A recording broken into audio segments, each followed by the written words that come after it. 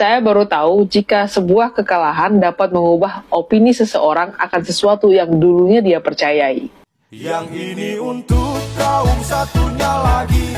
Sudah-sudahlah berhenti caci maki. Demo nangis-nangis si paling tersolimi. Kalah suara emang bikin sakit hati. Kita semua sama punya agama merasa paling benar Kita sama-sama orang berpendidikan Gak usah merasa kalian paling pintar Gimana kabarnya anak abah? Cuak Halo teman-teman semua, ketemu lagi di channel ini. Gimana kabarnya? Semoga kalian sehat selalu, panjang umur, ditambah rezekinya dan dipermudah urusannya. Amin. Oke teman-teman, nampaknya tujuan dari demo kosong yang dilakukan oleh pihak 01 ini nampaknya menurut saya sudah jelas ya teman-teman ya. Sudah jelasnya kenapa? Sebelumnya kita saksikan video yang satu ini teman-teman. Mungkin maksud Abah dilarang coblos lebih dari satu seperti ini. Dilarang coblos lebih dari satu. Dilarang coblos lebih dari satu. Coblos satu. Coblos dua tidak sah. Coblos tiga tidak sah. Yang sah coblos Satu, dapat suaranya juga satu ya teman-teman ya. Kita perhatiin di sini teman-teman ya. Nih, dapat satu suara doang. Pak Prabowo banyak banget tuh ya. Nah, oke kita lanjut ke video selanjutnya. Ini teman-teman di sini ada aksi ya dari demo 01. Dan di sini ada Bapak Ferry Amsari ya teman-teman ya. Dan pernyataannya menurut saya cukup luar biasa apa ya namanya em, jadi aksi provokator ya menurut saya. Oke kita langsung saya simak videonya teman-teman. teman-teman sekalian teriakkan kata ini. Turunkan Jokowi dan Prabowo! Sekian terima kasih. Modus Ya ujung-ujungnya itu ya teman-teman ya. Dari sekian demo ya menuntut aksi kecurangan dituntaskan. Terus kemudian ujung-ujungnya apa? Turunkan Jokowi dan Prabowo. Menurut kalian menurut kalian gimana ya? Kok ujung-ujungnya itu ya turunkan Jokowi dan Prabowo ya bukan mengusut eh, kecurangannya itu diungkap seperti apa gitu ya. Malah turunkan Jokowi dan Prabowo. Nah menurut kalian gimana ya? Silahkan komentar di bawah. Dan kita dengarkan komentar dari netizen ya teman-teman. Warga net ya. Hei Kadrun, punya otak buat mikir, bukan buat hiasan. Ya, punya otak buat mikir, jangan buat hiasan. Pendukung Jokowi rata-rata pekerja keras, bukan pemelas, bukan pemalas. Tidak kayak Kadrun, tidak kayak Kadrun teriak-teriak turunkan Jokowi turunkan Jokowi hidupnya minta disubsidi dasar tidak punya otak turunkan Jokowi. Apa hanya karena capres Anda ingin menang, Anda berkata turunkan Jokowi? Ke mana saja saat presiden yang Anda dukung menjual pulau? Ke mana aja saat presiden yang Anda dukung menjual Indosat?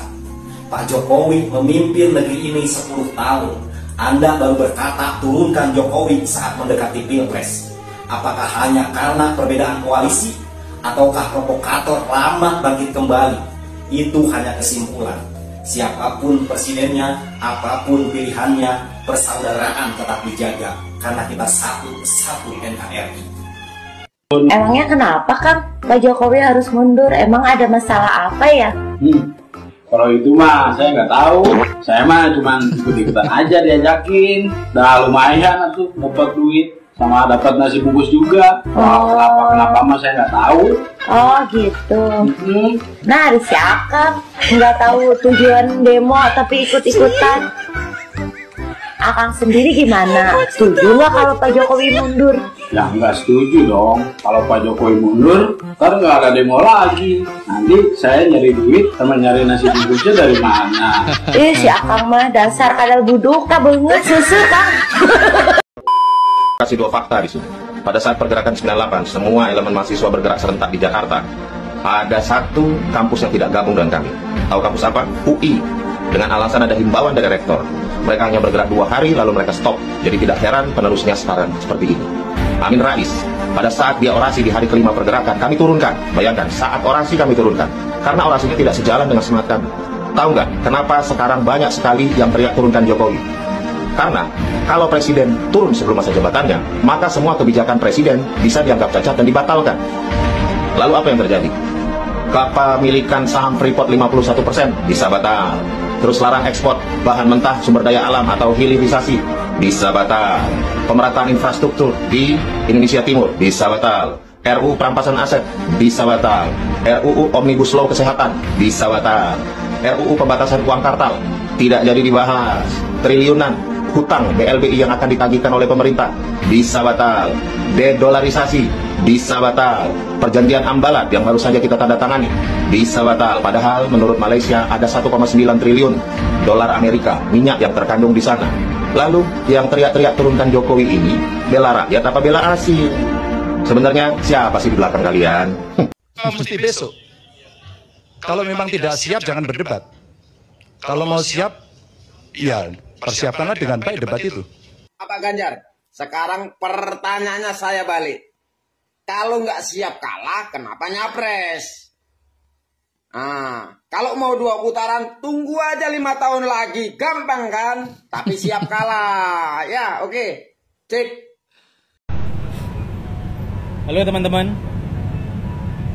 Rame yang tag saya tentang pernyataan Anies maupun pernyataan paslon nomor 3 yang kira-kira ranah dan arahnya semua mengatakan bahwa paslon nomor 02 curang, 02 curang, 02 curang gitu ya.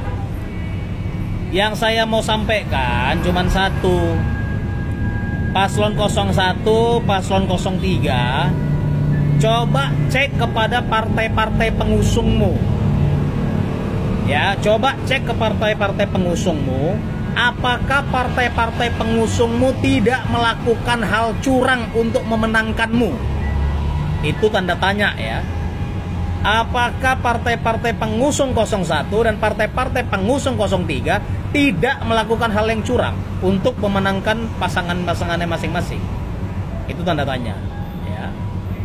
Jadi, kalau hari ini kita mau bicara tentang kecurangan-kecurangan dan kecurangan, kecurangan itu bukan narasi dari mulutmu.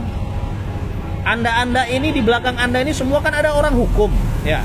Tapi pola-pola yang saya lihat, Anda-anda ini hanya membuat kegaduhan di ruang publik. Undang-undang sudah memberikan ruang bagi pasangan-pasangan calon yang kira-kira tidak sepakat, tidak puas dengan hasil pemilihan, ada jalur hukum yang bisa ditempuh. Maka daripada Anda-anda koar-koar di media sosial dan membuat kegaduhan, saran saya sebagai salah satu ya tim tank Pak Prabowo di 2019. Saya salah satu tim tank Pak Prabowo di 2019 yang mempersiapkan bukti-bukti untuk perang di Mahkamah Konstitusi. Saran saya Anda-anda gunakan kesempatan hari ini kumpulkan bukti-bukti karena itu tidak mudah. Ya. Daripada Anda berkoar-koar di media sosial, kalau memang ada kecurangan, kumpulkan buktinya. Lalu kemudian gugat ke Mahkamah Konstitusi. Nanti kita tarung di sana. Ini negara hukum, kita tarung secara hukum, ya. Lalu yang menggelitik saya itu narasi dari Pak Anies Baswedan. Pak Anies Baswedan ini kalau soal ngomong itu memang luar biasa benar gitu ya. Ya, mohon maaf kali ini saya bilang luar biasa gobloknya gitu. Ya. Yang dia bilang apa? Ada yang menjadi fokus saya ada hal-hal bukan pada saat pencoblosan. Hal-hal sebelum pra pencoblosan, pra pencoblosan, ya iya namanya sebelum pencoblosan semua paslon itu kampanye. Termasuk ente, ente juga kampanye. Yang namanya kampanye itulah yang kemudian mempengaruhi calon-calon pemilih untuk kemudian akhirnya mencoblos pilihannya di TPS. Gimana gitu ya? Lama-lama malu pula kita punya salah satu tokoh intelektual yang kayak model begini. Ya. Jadi saran saya ke paslon 01, paslon 03 plus semua instrumen-instrumen di bawahnya Jangan banyak koar-koar, gunakan waktu yang Anda punya untuk kemudian mengumpulkan bukti, kita tarung di Mahkamah Konstitusi. Oke?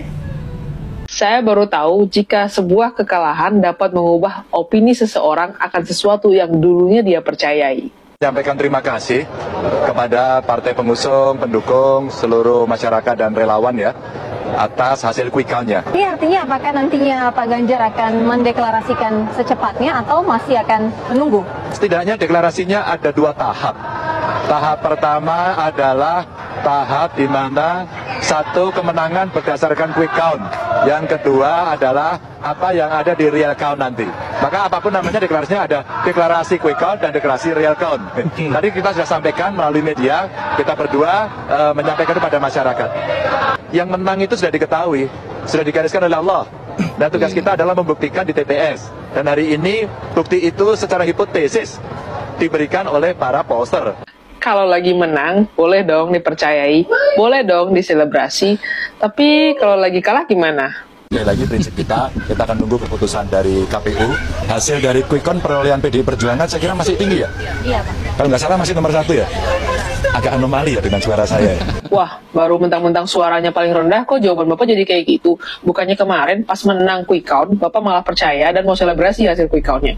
Bahkan Bapak juga udah bilang nih, waktu pada saat itu, bilang bahwa hasil quick count ini sudah dibuktikan oleh para poster dan para surveyor. Kenapa sekarang Bapak jadi bicara masalah anomali ketika suaranya paling rendah? Pula Pak, bicara tentang hasil daripada pemilu kemarin, faktanya di banyak TPS suara Bapak memang paling rendah di antara yang lainnya. Gak mungkin dong yang ngelakuin quick count naikin suara Bapak, nanti bilang curang lagi. Selain itu Pak, sing legowo ya Pak, karena ketika berani ikut kontestasi, harus berani siap menerima apa pun hasilnya. Ya, sing legowo ya pesan buat Pak Ganjar dan juga 01 juga ya teman-teman termasuk ya. Ya harus siap kalah ataupun menang itu sudah resiko yang harus diambil ya teman-teman ya. Oke, gimana menurut kalian teman-teman? Silahkan berkomentar ya. Kita ketemu lagi di video selanjutnya dan arti cerita berikutnya. Terima kasih.